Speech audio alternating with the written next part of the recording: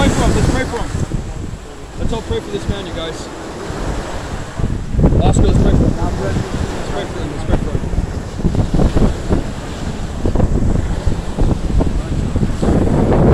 Heavenly Father God, we just thank you for this new son, God. that You just called him the kingdom, God.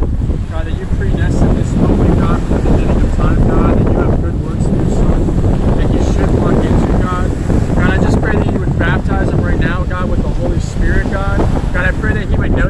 Adopted son, God, that he's not an abandoned, God, he's not an orphan, God, that he doesn't have to walk in the spirit of fear, God, but he can know right now, God, that he is in your kingdom, God, that we are his brothers and sisters in Christ, God, for all of eternity, God.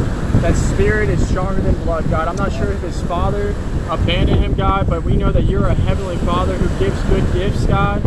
And God, we're just thankful, God, for this new brother, God. I'm just thankful for this new brother, Father God. God, we pray that you would give him a revelation of your love, Father God. That you would fill him with a revelation of your love, God. That he would take that love, God, and he would go and declare it from the rooftops, God. And that he would desire that many, God, would want to know who you are, Father God because we know, God, that you are the ultimate treasure, God, in our lives, God. That we don't want to lay up treasures on earth, God, but we want to lay up treasures in heaven, Father God. So, God, we just pray that you would use his life as a pure vessel, God, that he would be used by the Master, God, for every good work, Father God. And we just pray these things in Jesus' mighty name. Amen. Amen. Amen. Amen. God bless you, God bless you.